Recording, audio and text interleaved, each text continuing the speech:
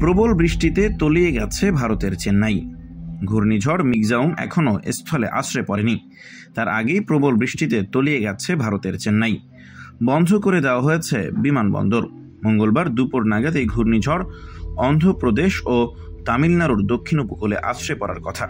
তবে তার আগেই তামিলনাড়ুতে প্রবল বৃষ্টি শুরু হয়েছে। সেই বৃষ্টিতে বেহাল চেন্নাই। পানিতে ভেসে গেছে পুরো শহর। দেওয়াল ধসে প্রাণ গেছে দুজনের। আহত হয়েছেন আরও একজন। রাস্তায় এতটাই পানি জমেছে যে গাড়ি পর্যন্ত ডুবে যাচ্ছে। চেন্নাইয়ের পানি জমার বিভিন্ন ছবি ছড়িয়ে পড়েছে সামাজিক যোগাযোগ মাধ্যমে। খবর এনডিটিভির। এমন পরিস্থিতিতে তামিলনাড়ু সরকার সোমবার ছুটির দিন ঘোষণা করেছে।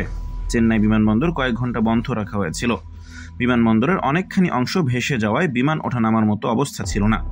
বারোটি বিমানকে বেঙ্গালুরুতে নিয়ে যাওয়া হয়। ভারতের আবহাওয়া অফিস জানিয়েছে, ঘূর্ণিঝড়টি দক্ষিণ অন্ধ্রপ্রদেশে মঙ্গলবার দুপুরে আছড়ে পড়তে পারে। তারপর সেটি উত্তর তামিলনাড়ুর দিকে যাবে। তখন সেখানে বাতাসের গতিবেগ থাকবে একশো কিলোমিটারের মতো। যে জায়গায় ঝড় আছড়ে পড়ার কথা, তা চেন্নাই থেকে একশো সত্তর কিলোমিটার দূরে। ভারতের দক্ষিণের রাজ্যগুলো ও ওড়িশাকে ইতিমধ্যেই ঝড়ের ব্যাপারে সতর্ক করে দেওয়া হয়েছে। জেলেদের সমুদ্রে যেতে নিষেধ করা হয়েছে। ঘূর্ণিঝড়ের প্রভাবে চেন্নাইয়ে ব্যাপক বৃষ্টি পড়ছে। একটি দেওয়াল ধসে দুজন মারা গেছেন। অনেক জায়গায় গাড়ি প্রায় ডুবে গেছে। জনজীবন পুরো স্তব্ধ হয়ে গেছে। চেন্নাই পৌরসভার পক্ষ থেকে জানানো হয়েছে, ভোর থেকে তিনশো চল্লিশ মিলিমিটার বৃষ্টি হয়েছে।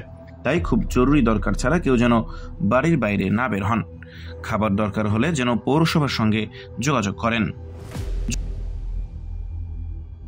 এবি টোয়েন্টি বাংলা ও বাঙালির পাশে।